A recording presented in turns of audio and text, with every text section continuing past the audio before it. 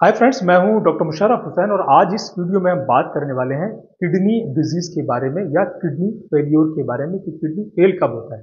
कितने creatinine level पे kidney fail हो जाता है। तो बने रहिए मेरे साथ इस वीडियो में। आप जानेंगे कि एक लक्षण क्या होते हैं किडनी फेल होने के। संकेत क्या होते हैं, आपको कब अलर्ट हो जाना चाहिए। और दूसरा कि क्रेटिनिन बढ़ने का कारण क्या है? क्या क्रेटिनिन किडनी को फेल करता है? या किडनी के फ़ंक्शन के खराब होने के कारण आपका जो है वो क्रोटीनिन का लेवल बढ़ने लगता है। उसके अलावा आप कैसे अपनी किडनीज को बचा सकते हैं? नेचुरली नेचुरल तरीके से सिंपली कुछ घरेलू नुस्खे अपना के और अपनी आदतों को बदल के। तो आइए शुरुआत करते हैं। तो सबसे पहले बात कर लेते हैं इसके लक्षणों के बारे में, उन संकेतों के बारे में जो किडनी फेल होने की शुरुआत में मरीज़ को आने लगते हैं। उनमें जो सबसे पहला लक्षण होता है, वो होता है दोस्तों, पेशाब की फ्रीक्वेंसी या यूरिन की फ्रीक्वेंसी चेंज हो जाना। पेशाब आपको जल्दी जल्दी आ सकता है, या उसकी फ्रीक्वेंसी कम भी हो सकती है बट जो यूरिन की मात्रा है, जो पेशाब की मात्रा है, वो काफ़ी कम होने लगती है। उसका कलर चेंज होने लगता है, वो डार्क कलर का होने लगता है पेशाब। ये पहला लक्षण होता है। हालाँकि ये लक्षण अगर आपने पानी कम पिया है डिहाइड्रेशन है, वो टेम्परेरी हो सकते हैं बट अगर आपको लगातार ये लक्षण बना रहे तो फिर आपको अलर्ट पे आ जाना चाहिए। दूसरा, मरीज़ की भूख कम होने लगती है, उसको जी मचलाने लगता है और शरीर पे आपके सूजन आने लगती है, आपका फेस जो है थोड़ा पफी यानी कि फूला हुआ महसूस होने लगता है। आपके पैरों पे इवन हाथों पे भी कुछ केसेस में बट पैरों पे सबसे पहले जो है आपके फूट्स पे जो है वो स्वेलिंग आने लगती है। आप अगर दबाएँगे स्वेलिंग तो वहाँ पर गड्ढा भी पड़ने लगता है। तो इस तरह की जो स्वेलिंग दिखती है, इसको अडीमा कहते हैं। ये डेवलप होने लगता है, ये दूसरा बड़ा लक्षण होता है। हालाँकि पिटिंग एडिमा जो है वो कार्डियक पेशेंट में या हार्ट के पेशेंट में भी मिलता है।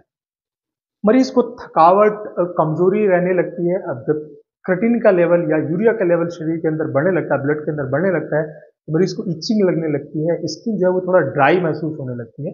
ये भी किडनी फेल्यूर के शुरुआती लक्षण होते हैं। तो, ते वो हमने कुछ सामान्य लक्षणों की बात की जिनको मिलते ही इन संकेतों को देखते ही आपको अलर्ट पे आ जाना चाहिए और अपना किडनी फ़ंक्शन टेस्ट करा लेना चाहिए। किडनी फ़ंक्शन टेस्ट से आपको क्रेटिनिन का लेवल यूरिया का लेवल या दूसरे जो बाकी पैरामीटर्स होते हैं वो पता लग जाते हैं। यूरिन टेस्ट भी करते हैं क्रेटिनिन को चेक करने के लिए, ये आपका डॉक्टर आपको बता सकता है, बट आपको इन पर ध्यान देना चाहिए। अब बात करते हैं कि क्रेटिनिन बनता कैसे, कहाँ से बनता है, क्यों बनता है, क्या किडनी इसको बनाते हैं? तो आपकी जो मसल जब काम करती हैं, आप जब कुछ काम कर रहे होते हैं तो वहाँ पर मेटाबॉलिज्म के बाद आपकी मसल से ये क्रेटिनिन बनता रहता है। अभी क्रेटिनिन आपके ब्लड में जाता है ब्लड से फिर आपकी किडनीज में जाता है कि किडनी का काम होता है, जितना भी एक्सेस क्रेटिनिन है, उसको बाहर निकाल देना। और किडनी एक लेवल मेंटेन रखता है आपके क्रेटिनिन का और बाकी दूसरे वेस्ट प्रोडक्ट का भी कि इतने लेवल तक ही ब्लड के अंदर इसकी मात्रा रहनी चाहिए। अब अगर आपकी बॉडी के अंदर ये क्रेटिनिन बनता रहे, मगर आपका किडनी किसी कारण से ठीक से काम ना करे, आपका किडनी का फ़ंक्शन ठीक से काम ना करे या आपकी किडनी फेल होने लगे तो फिर क्रियोटिन जो है पूरा नहीं निकल पाता है तो वो वापस आपके ब्लड में बढ़ता जाता है। तो इस कारण ये फिर फर्दर डैमेज करता है आपकी किडनीज को और इस तरीके से मरीज़ किडनी फेल्यूर में चला जाता है और मरीज़ को डायलिसिस पे जाने की ज़रूरत पड़ जाती है। अगर क्रेटिनिन के लेवल एक जो उसका बैलेंस लेवल है उससे ज़्यादा ऊपर चले जाते हैं। तो अब बात कर लेते हैं कि ये क्रेटिनिन के लेवल कितने होते हैं। एक्चुअल में ये आ, मरीज़ के सेक्स पे मेल और फीमेल में भी थोड़े वारी करते हैं बच्चों और बड़ों में भी थोड़े वारी करते हैं। तो एक एडल्ट मेल के अंदर जो क्रेटिनिन का लेवल है वो 0.7 मिलीग्राम पर डीएल से लेके 1.3 मिलीग्राम पर डीएल तक नॉर्मल माना जाता है। इसी के बीच में ये रहना चाहिए। अगर हम फीमेल की बात करें तो फीमेल के अंदर ये 0.6 से 1.1 मिलीग्राम पर डीएल होता है क्रेटिनिन का नॉर्मल लेवल। इतना क्रेटिनिन आपके ब्लड में अगर इस लेवल के है, इसके बीच में है तो आपका किडनी हेल्दी है। छोटे बच्चों में मतलब ज़ीरो से तीन साल की उम्र में ये करीब ज़ीरो पॉइंट थ्री से लेके ज़ीरो पॉइंट सात मिलीग्राम पर डीएल तक नॉर्मल माना जाता है। और बड़े बच्चों में यानी कि जो तीन साल से अट्ठारह साल तक की उम्र के बच्चे हैं, उनके अंदर ये पॉइंट फाइव से लेके एक मिलीग्राम पर डीएल तक नॉर्मल माना जाता है। तो अगर ये नॉर्मल रेंजेस आपके किडनी फ़ंक्शन टेस्ट में या क्रेटिनिन टेस्ट कराने में आ रही हैं तो कोई घबराने की ज़रूरत नहीं है। हाँ फिर भी आपको अपनी किडनी को आगे बचा के रखना है। किडनी को इंजरी से बचा के रखना पड़ेगा। तो बात करते हैं कि भाई इसके कारण क्या हो सकता है। ऐसा क्यों हो जाता है कि अच्छे खासा मरीज़ अभी तो तंदुरुस्त था और अचानक से उसको पता लगता है या कभी वो टेस्ट कराता है या उसको ये सब सिम्टम्स आने लगते हैं कि किडनी ठीक से काम नहीं कर रहा है। तो उसके जो कारण है वो होते हैं आपकी किडनी का इंजरी यानी कि किडनी को एक्यूट इंजरी अगर हो जाती है, वो किसी भी कारण से हो सकती है। जनरली बहुत सारे मेडिकेशंस दवाइयाँ पेन किलर्स या कुछ एंटीबायोटिक्स भी ऐसे होते हैं, जो आपके किडनीज को नुकसान करते हैं और अगर आप लगातार ऐसी दवाइयों का इस्तेमाल करते हैं तो आपके किडनी फेल होने के चांसेस बढ़ जाते हैं। दूसरी, कुछ बीमारियों में भी, जैसे अगर आप हाई ब्लड प्रेशर के मरीज़ हैं, आप कार्डियक पेशेंट हैं, अगर आपको ब्लड शुगर की बीमारी है तो ये भी आपके किडनी फेल होने का कारण बनते हैं। एक तो बीमारी अपने आप में कारण बनती है। दूसरा, क्योंकि आप जब इनको ठीक करने के लिए दवाइयाँ खाते हैं तो वो भी आपकी किडनी को नुकसान करती है। तीसरा, बढ़ती उम्र। एजिंग भी एक फैक्टर है, क्योंकि जैसे जैसे उम्र बढ़ती है, उस तरीके से बॉडी के कुछ फ़ंक्शन डीरेंज होने लगते हैं। तो ओल्ड एज में जाके भी जनरली किडनी आपके ठीक से काम नहीं करते हैं। उसके अलावा आपकी डाइटरी हैबिट्स अगर आप नमक बहुत ज़्यादा खाते हैं, अगर आप प्रोटीन की डाइट बहुत ज़्यादा लेते हैं तो भी आपकी किडनी फ़ंक्शन खराब होने के या किडनी फेल होने के चांसेस बहुत ज़्यादा बढ़ जाते हैं। उसके अलावा जैसे हमने बात की दवाइयाँ और उसके साथ साथ कुछ केमिकल्स अगर हम कुछ मिलावटी चीज़ें खाते हैं, हमें नहीं पता होता हम जो भोजन खा रहे हैं, जो दूध पी रहे हैं, बाहर का हम जो प्रोसेस्ड फ़ूड खाते हैं, उसमें किस तरह की चीज़ें इस्तेमाल हुई हैं, वो भी एक कारण होता है आपकी किडनीज को खराब करने का किडनी को फेल करने का। उसके अलावा अगर आपकी किडनी में कोई बीमारी लग जाती है इन्फेक्शन अगर कुछ हो जाते हैं बैक्टीरियल वायरल इन्फेक्शन अगर आपकी किडनी की तरफ़ चले जाते हैं तो वो भी आपके किडनी के फ़ंक्शन को खराब करते हैं। कई बार ये टेम्परली होता है और कई बार आपके इन्फेक्शन आपकी किडनी को पूरी तरह से भी फेल कर देते हैं। और उसके अलावा डिहाइड्रेशन कई बार जैसे मरीजों को उल्टी दस्त लग जाता है या कोई मरीज़ बहुत वक्त तक पानी ना पिए तो डिहाइड्रेशन भी अपने आप में किडनी फ़ंक्शन के फेल होने का या क्रेटिनिन के बढ़ने का कारण बन जाता है। तो अगर इन सारे कारणों को आप दूर करके रखते हैं, आप अपनी किडनीज को नुकसान से बचा सकते हैं उसको फेल होने से बचा सकते हैं। तो इन कारणों को अवॉइड करें और अपने किडनीज को हेल्दी बना के रखें। आप लो सॉल्ट डाइट का इस्तेमाल करें, अपने भोजन में आप सिट्रस फ्रूट्स का इस्तेमाल करेंगे तो वो भी किडनी फ़ंक्शन को ठीक रखते हैं।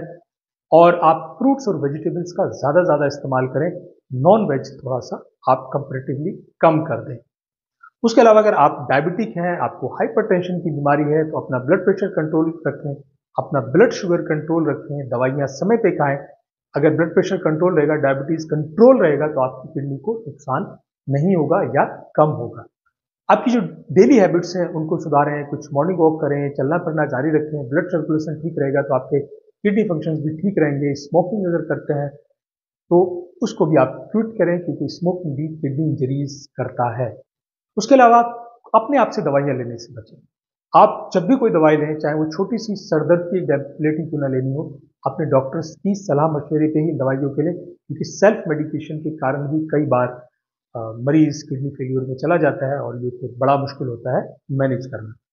कोशिश करें कि अपने आप को हाइड्रेट रखें, पानी ज़्यादा से ज़्यादा पिए, लेकिन अगर ऑलरेडी आप किडनी फेलियर में चले गए हैं तो पानी की मात्रा आपके डॉक्टर के या आपके फिजिशियन ने जो बताई है डिसाइड किया, उतनी लें, क्योंकि वहाँ पर आपको थोड़ा सा रेस्ट्रिक्टेड फ्लूड की ज़रूरत पड़ती बट अगर इनिशियल फ़ेज़ में है, या भी आपको आगे सिर्फ़ अपनी किडनीज को ख़राब होने से बचाना है तो ज़्यादा से ज़्यादा पानी पिए डिहाइड्रेशन ना होने दें। जितना ज़्यादा हाइड्रेशन रखेंगे, आपकी बॉडी के दूसरे फ़ंक्शन भी ठीक काम करेंगे स्किन भी ग्लो करेगी और आपका किडनी फ़ंक्शन भी ठीक रहेगा। तो कुछ आप नेचुरल डायरेटिक्स का इस्तेमाल कर सकते हैं, जैसे ग्रीन टी ब्लैक टी बहुत अच्छे नेचुरल माइल्ड डायरेटिक्स हैं। उसके ऊपर डेंडलियन का आप इस्तेमाल कर सकते हैं।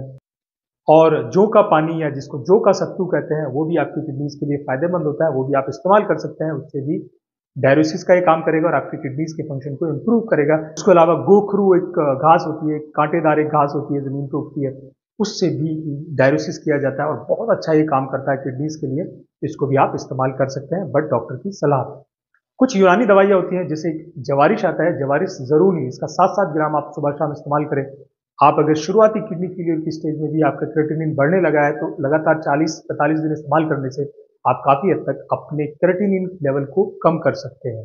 और साथ में अगर आप शरबत बजूरी भी इस्तेमाल कर लेते हैं 20 एम सुबह और दोपहर में, शाम को ना पिए, क्योंकि इससे रात को आपको यूरिन बार बार आएगा तो नींद खराब हो सकती है तो सुबह और दोपहर में चार बजे से पहले आप इसको इस्तेमाल करें।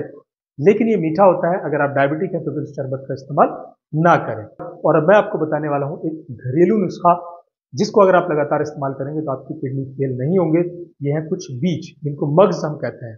तो इसमें आप जैसे कद्दू हो गया, या तरबूज हो गया, या खरबूज हो गया, या ककड़ी हो गया, अगर इन सब के आप बीज ले लेते हैं, और साथ में आप अगर गाजर के बीज भी आपको मिल जाते हैं और उसमें आप थोड़ा सा सौंफ मिला लें, इन सबको आप कूट लें, पीस लें और इसको फिर आप तो शहद बना के भी इसको इस्तेमाल कर सकते हैं, इसका शरबत बना के भी आप पी सकते हैं।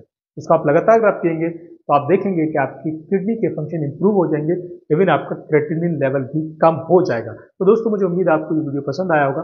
अगर वाकई आपको जानकारी अच्छी लगी हो, इसको लाइक ज़रूर कर लें शेयर करें ज़्यादा से ज़्यादा लोगों को सो दैट इसका बहुत सारे लोगों को फ़ायदा मिले। तो अगर आप पहली बार ये चैनल पर आए हैं, मुझे पहली बार देख रहे हैं तो सब्सक्राइब ज़रूर कर लें बेल आइकन का बटन भी दबा लें सो दैट इस तरह के हेल्थ इंफॉर्मेटिव वीडियो आपको समय पर मिलते रहे। थैंक यू धन्यवाद।